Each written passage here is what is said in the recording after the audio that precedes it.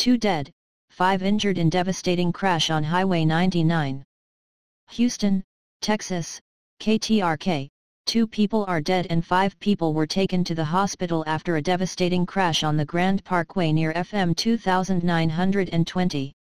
The Harris County Sheriff's Office said two of the injured victims are in critical condition after the wreck unfolded Wednesday afternoon in the westbound lanes. Both sides of the Grand Parkway are shut down to traffic as investigators reconstruct the scene.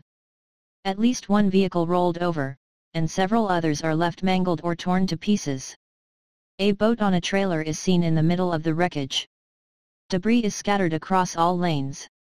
A Katy police officer told ABC 13 Eyewitness News he was the first to arrive at the scene, and helped extract a man from a Ford F-150 that rolled over.